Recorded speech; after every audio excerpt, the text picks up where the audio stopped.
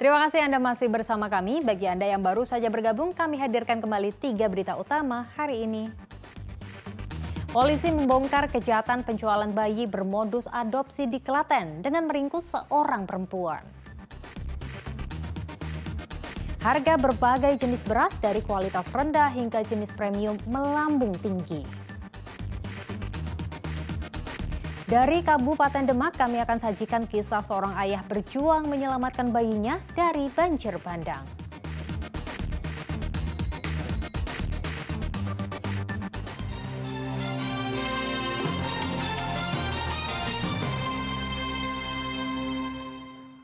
Harga beras premium dan medium di pasar tradisional di Kabupaten Magelang terus melambung karena stok menipis akibat cuaca buruk.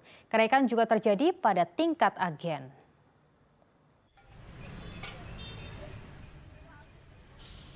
Harga beras di pasar tradisional Rejowirangun Magelang terpantau terus merangkak naik dari kualitas rendah hingga ke premium.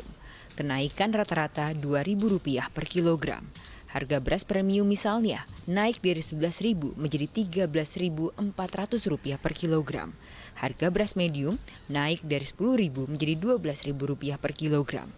Kenaikan dipicu pasokan dari petani berkurang lantaran cuaca buruk. Kalau pasokan agak tersendat mungkin ya kalau ada kenaikan seperti ini mungkin dari stoknya itu eh, apa ya kurang mencukupi ya mungkin ya. Semua kebutuhan naik, beras naik, minyak naik, beras yang dulunya harga sepuluh ribu sekarang jadi dua belas ribu kan berat toh. Apalagi gaji sekarang juga nggak naik. Kenaikan tidak hanya terjadi di pasar tradisional tetapi juga di tingkat agen. Di tingkat agen Pasar Peterongan di Kota Semarang, kenaikan rata-rata Rp15.000 per karung isi 25 kg. Harga beras medium naik dari Rp265.000 menjadi Rp280.000 per karung. Beras premium naik dari Rp275.000 menjadi Rp290.000 per karung. Karena kan mungkin banjir apa kemarin kan pada banjir itu loh mas, mungkin kenaikan harga dari itu. Ini kenaikan sejak kapan ini Bu? Udah seminggu yang lalu. Seminggu ini ya Bu? Tapi tiap hari naik 200, 200. Satu kilo untuk saat ini saya belinya 12 ribu. 12.000. Biasanya kan mungkin saya kan karena orang biasa ya biasa ya mas mungkin saya belinya yang 10 ribu, berapa 11 ribu sekarang kan sudah 12 ribu, ada yang naik 13.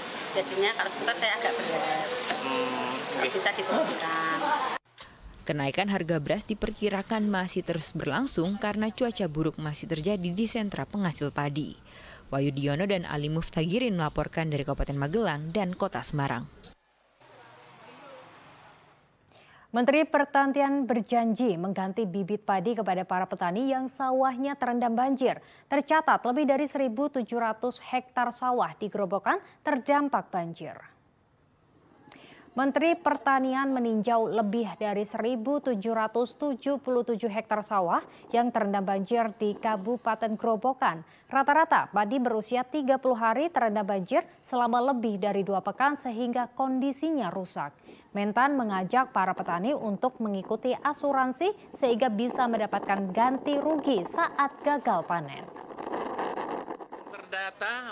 Macam Pak Bupati, Ibu Bupati tadi nyampaikan di Gerobokan ada banjir, ada pusuh.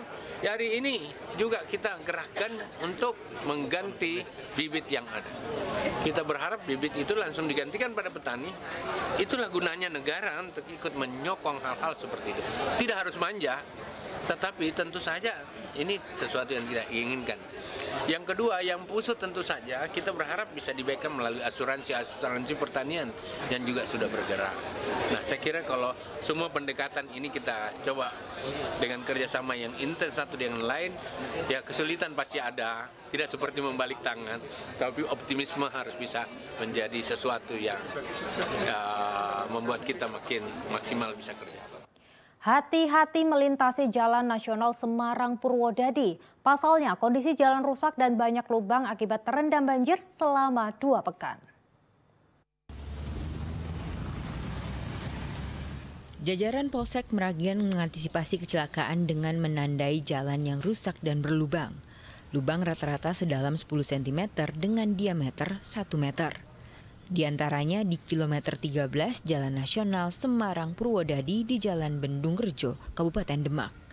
Kondisi jalan rusak mengakibatkan kemacetan lalu lintas karena pengendara memperlambat laju kendaraannya.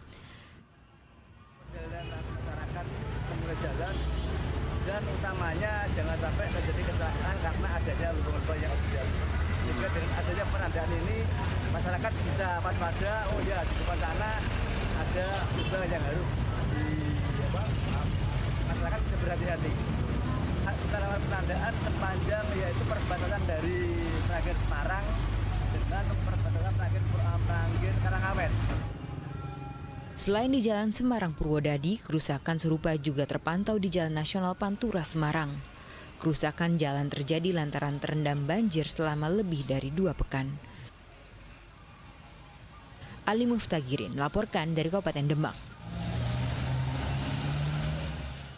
Kita beralih ke informasi lainnya, penumpang Bandara Internasional Jenderal Ahmad Yani Semarang pada tahun 2022 meningkat dua kali lipat dibandingkan tahun 2021 lalu. Berdasarkan data PT Angkasa Pura I Bandara Internasional Jenderal Ahmad Yani Semarang, jumlah penumpang tahun 2022 mencapai lebih dari 1,6 juta penumpang. Jumlah ini naik dua kali lipat dari tahun 2021 yang hanya mencapai 800 ribu lebih penumpang. Jumlah penumpang meningkat ditandai pergerakan pesawat yang mencapai hampir 15 ribu di tahun 2022 atau meningkat hampir 45 persen dibandingkan tahun 2021. Peningkatan jumlah penumpang menurut PT Angkasa Pura sebagai tanda kebangkitan dunia penerbangan pasca pandemi COVID-19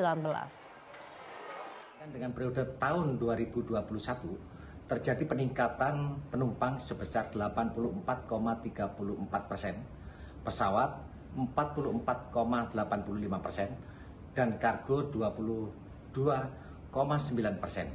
Kami yakin pada tahun 2023 ini, trafik pergerakan pesawat, penumpang, dan kargo akan semakin menunjukkan pergerakan positif.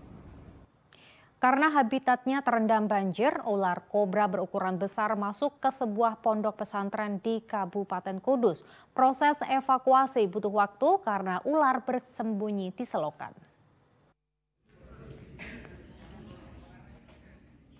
Ular kobra berukuran 1,6 meter ini ditangkap tim rescue dari selokan pondok pesantren di Desa Kirik, Kabupaten Kudus. Ular berbisa ini tergolong besar karena biasanya ular kobra Jawa hanya berukuran panjang 1 meter.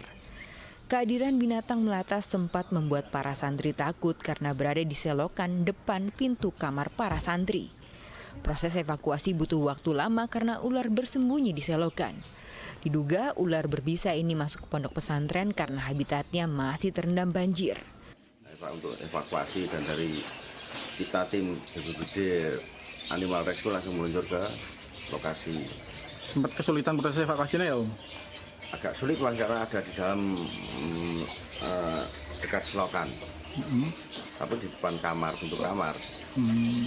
Dan jenisnya juga agak bahaya. Memang nggak agak, memang bahaya itu. Ular kobra. Panjang berapa itu? Panjang kurang lebih 160. Jumbo, ukuran jumbo itu kalau kobra Jawa. Setelah dievakuasi selama satu jam, ular akan dilepas liarkan ke habitatnya. Arif Nur melaporkan dari Kabupaten Kudus.